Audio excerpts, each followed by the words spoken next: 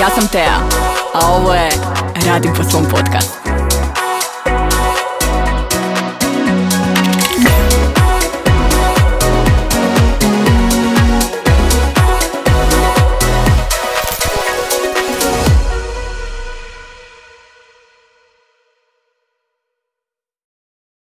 Dobrodošli u novu epizodu Radim po svom podcasta.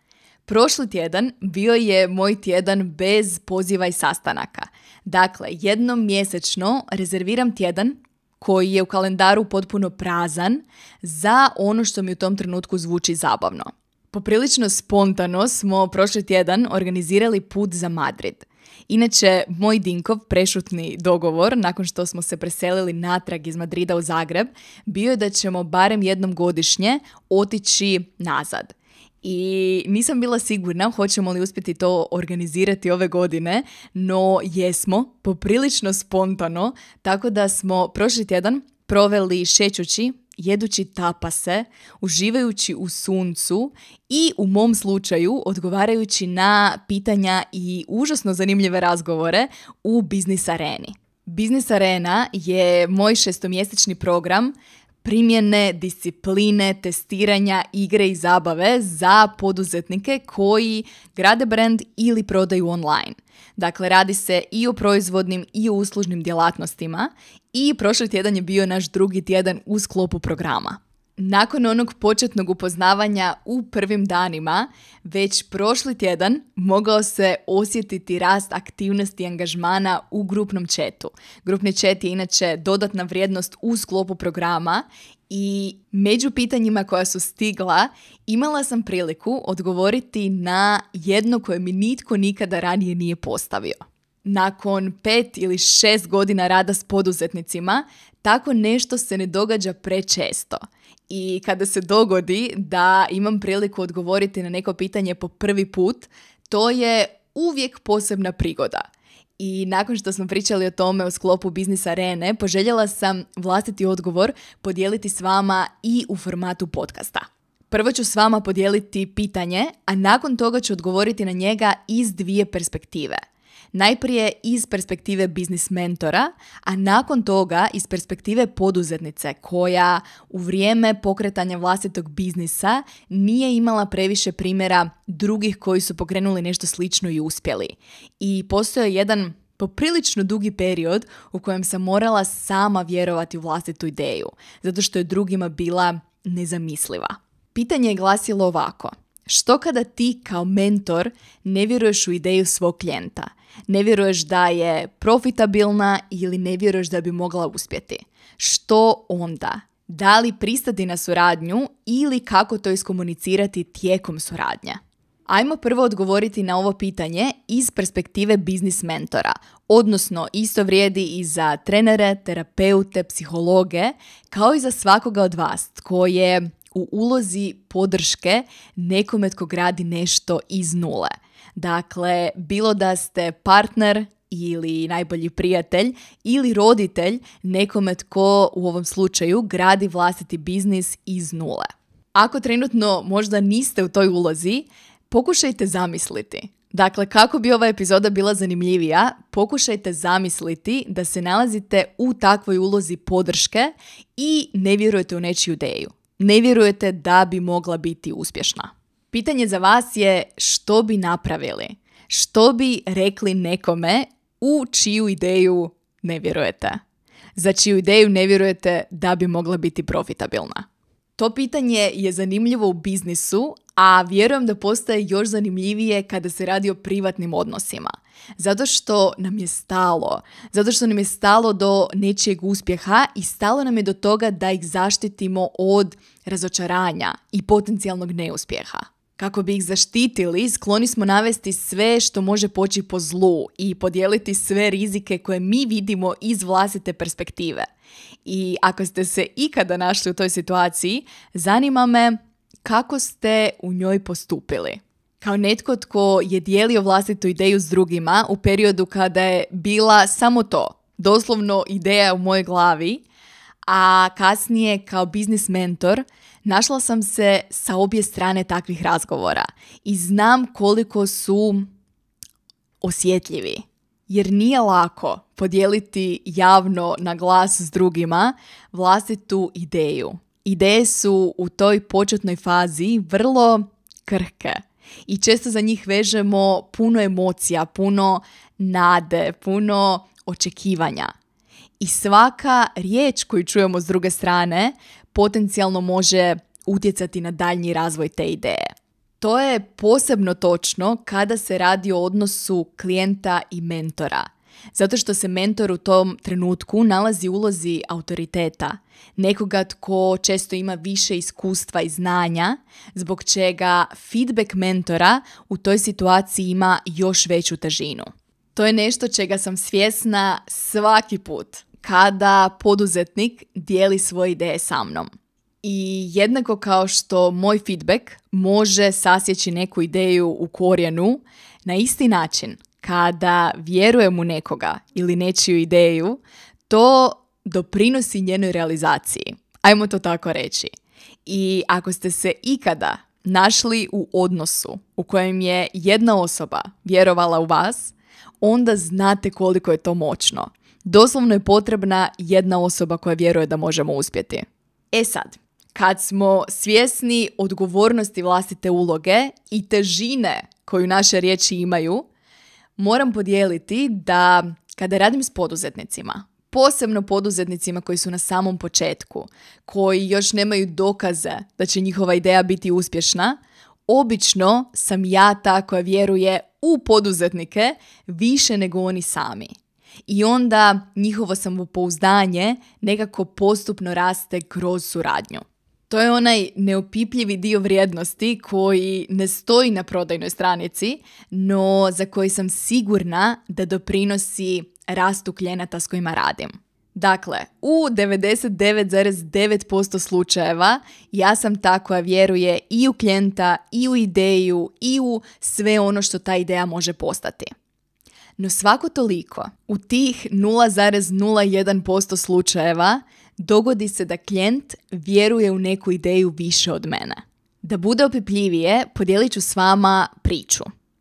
Prije dvije godine radila sam sa poduzetnicom. Poduzetnicom u edukacijskoj industriji koja je tek pokretala vlastiti posao. Dakle, kreirala je prve objave na Instagramu, imala je zajednicu od možda stotinjak članova i naš zadatak tijekom suradnje bilo je dizajnirati njenu prvu uslugu. Svaki put kada smo pričale o potencijalnom formatu usluge i kako bi ona mogla izgledati, vraćale smo se na isto. Dakle, ona je željela dizajnirati samo jednu uslugu u višem cjenovnom rangu i ništa drugo ju nije inspiriralo. Bila je to ona vrsta usluge koju se ja sama ne bih usudila lancirati u vlastitim počecima. No ona je 100% vjerovala da je moguće prodati takvu uslugu i da u njenoj zajednici postoji barem dvoje ljudi koji su je spremni kupiti. U tom zajedničkom brainstormanju koje je trajalo danima, ako ne i tjednima, bila sam svjesna nekoliko stvari. Kao poduzetnik u sličnoj niši koji u tom trenutku radio sa desecima i desecima privatnih klijenata i stotine su još prošle kroz moje druge programe, znala sam da je za prodaju premium ponude potrebno vrijeme. Potrebno je vrijeme za izgradnju odnosa i povjerenja i to je nešto što je nemoguće ubrzati. Isto tako, znala sam da je uobičajena praksa najprije ponuditi ulazne i glavne ponude nižeg cjenovnog ranga kroz koje netko ima priliku testirati brand kako bi se onda nakon toga odlučio na premium uslugu. Također, znala sam i da će lakše popuniti takva premium mjesta ako malo sačeka, ako sačeka da poraste doseg i veličina njene zajednice, koja je u tom trenutku iznosila otprilike stotinjak članova, jer će sa rastom zajednice narasti broj potencijalnih klijenata. Klijenata koji su spremni na takvu vrstu ulaganja. No, uz sve te stvari koje sam znala, uz vlastito iskustvo, iskustvo klijenata s kojima sam radila, najbolje prakse iz industrije, uz sve što sam znala, bila sam jako dobro I jako dobro. Svjesna vlastitih uvjerenja i strahova. Već sam ranije spomenula da ja na njenom mjestu, odnosno ja u tom trenutku četiri godine ranije, ne bih lancirala sličnu ponudu. Što više, ne bih se usudila lancirati sličnu ponudu. Ne bih imala hrabrosti stati iza te cijene i vrijednosti koju donosim. I to nas dovodi do pitanja tko sam ja. Tko sam ja da preslikam vlastite strahove i ograničenja na nekoga tko očito vjeruje u to što radi? Tko sam ja da procjenjujem hoće li neka ponuda biti uspješna ili neuspješna? Posebno kada živimo u svijetu u kojem toliki pojedinci dokazuju da nemoguće nije granica. I tu se uvijek volim vratiti na priču o Rogeru Benisteru, dakle godinama se vjerovalo da je nemoguće pretrčati milju u vremenu kraćem od 4 minuta. Wikipedia kaže da milja iznosi 1,6 km, što se godinama smatralo nemogućim pretrčati u manje od 4 minuta. Sve dok Roger Bannister, sve dok jedna osoba to nije napravila. 1954. Roger je pretrčao milju u 3 minute 59,4 sekunde. Od tada je 1755 sportaša, barem prema Wikipediji, pretrčalo milju u istom ili kraćem vremenu i time dokazalo da je inicijalna granica bila granica samo u našim glavama.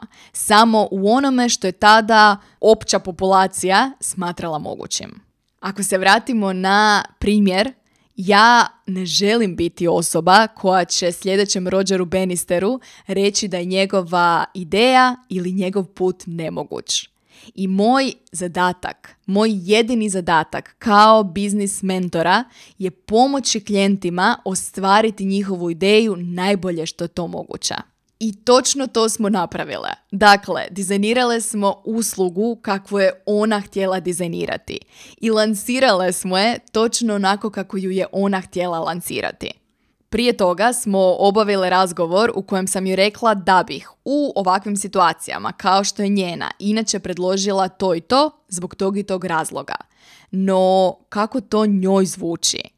Jer iako je nešto preporučena praksa, to ne znači nužno da će funkcionirati i za nju. I ako to nije smjer u kojem želi ići, otkrićemo onaj koji joj zvuči dobro. I nakon toga, nakon tog razgovora, smo zajedno stale iza smjera koji je odabrala. Što više, sad sam se sjetila da je postojao točno jedan specifičan trenutak u kojem sam znala da je to pravi smjer za nju. Bilo je to kad sam ju pitala koliko ti je u redu, da testiraš nešto što možda nije standard u industriji i rezultati ne ispune tvoje očekivanja. U tom trenutku mi je rekla da joj je puno važnije od toga slušati sebe. I ako to znači da neće uspjeti iz prve, to joj je sasvim u redu. Tada, točno tada sam znala da mora dizajnirati ponudu i lanciranje na svoj način. Iako bi ova priča bila potpuna i bez razgovora o rezultatima, mislim da ju ono što je uslijedilo čini još značajnijom. Kada bih vam rekla da je u tom prvom lanciranju, zato što je poslušala sebe, popunila sva mjesta, to bi bila jedna jako lijepa, inspirativna priča. No to nije bilo ono što se dogodilo. U tom prvom lanciranju nitko nije kupio i zahvaljujući njemu na sljedeći kol došla je sa hrpom uvida promišljanja na temelju čega smo prilagodile ponudu i zahvaljujući čemu je ostvarila prvu suradnju nekoliko tjedana kasnije. Neke lekcije jednostavno moramo naučiti na vlastitom primjeru. Neka iskustva jednostavno moramo doživjeti. I njeno iskustvo tog prvog lanciranja nije bilo nešto što sam joj mogla prepričati unaprijed. Zahvaljujući tome što ga je doživjela, će svaka njena buduća ponuda biti deset puta bolja. I to je poanta. Poanta je da neko iskustvo ne mora nužno biti uspješno da bi nama bilo neprocjenjivo.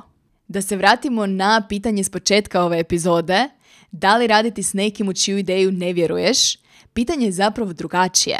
Pitanje je hoćeš li ih moći jednako kvalitetno podržati bez obzira?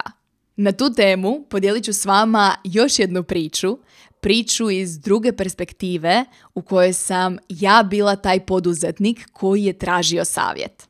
Neki od vas možda već znaju ovu priču. Dakle, na samim počecima, puno prije i bloga i podcasta i akademije, radim po svom brand bio je samo ideja u mojoj glavi. Ideja koja se u tom trenutku čak nije tako ni zvala. Budući da sama nisam imala nikakvog poduzetničkog iskustva i nisam poznavala nikoga tko u tom trenutku radi nešto slično, odlučila sam podršku i određenu vrstu validacije pronaći u jednom poslovnom inkubatoru. Još uvijek se sjećam da sam tjednima pripremala prezentaciju. Prezentaciju kojoj sam raspisala svoju ideju, prvu ponudu, očekivane prihode i s tom prezentacijom sam došla pred skupinu iskusnih poduzetnika.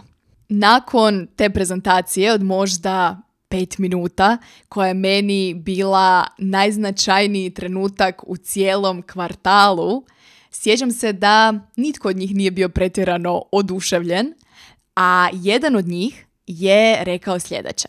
Rekao mi je da je moja ideja neodrživa, što više da nije siguran je li to uopće poslovna ideja, jer u Hrvatskoj nitko ne ulaže u dodatnu edukaciju, posebno kada se radi o edukaciji u online formatu. Deset godina kasnije ta izjava je smiješna, no tada je bila glavni razlog zbog kojeg sam svoju ideju spakirala u ladicu i odgodila ju na još godinu, ako ne i dvije. Kada sam se godinama kasnije našla u sličnoj ulozi mentora, osobe koje poduzetnici gotovo svakodnevno povjeravaju svoje ideje, obećala sam si da nikada neću biti ta osoba u nečijoj priči. Hoću, podijelit ću različite ideje, opcije, mogućnosti kao na švedskom stolu, no nikada neću reći da je nečija ideja nemoguća. Zašto? Zato što nemam pojma. Pojma nemam što je za tebe moguća. I to je poruka za svakoga od vas tko u ovom trenutku ima neku ideju u svojoj glavi. Posebno ako trenutno nitko u vašoj okolini ne vjeruje u tu ideju ili ne vjeruje u vas jer to je čest i često normalan dio poduzetništva. Ta ideja je s razlogom tvoja i tvoja je zato što ti možeš vidjeti njen potencijal i znaš kamo vodi i vidiš širu sliku i imaš viziju. Drugi to ne vide i u redu je da ne vide. Vidjet će u trenutku kada počneš poduzimati prve korake i kada počnu stizati prvi rezultati i kada tu ideju iz svoje glave učiniš opipljivom. Do tada je tvoj zadatak vjerovati u nju. I zahvalni smo na biznis mentorima, partnerima, roditeljima koji vjeruju u nas. No, to je naš zadatak. Tvoj zadatak je vjerovati u sebe i ideju u svojoj glavi. Jer kada ti vjeruješ, nemoguće doslovno ne postoji. Na tu temu došli smo do samog kraja ove epizode. Ne znam je li vama vrijeme proletjelo kao i meni, no hvala što ste ostali do samoga kraja. Ako ova epizoda ispala točno ono što ste trebali čuti, lajkajte ju, komentirajte, odnosno podijelite s nekim kome će također biti vrijedna. Hvala svima vama koji podržavate Radim po svom podcast iz tjedna u tjedan. Vi ste glavni razlog zbog kojega snimam. A ako želite predložiti neku temu koju možda još nisam obradila, pišite mi. Možete mi pisati ili na mailu tea.radimposvom, sve zajedno, .com.hr ili na Instagramu gdje ćete me pronaći pod et teazavacki. Veselim se u nekoj od epizoda odgovoriti na tvoje pitanje, možda već sljedeće srijede. Do sljedeće epizode. Navijam za tebe.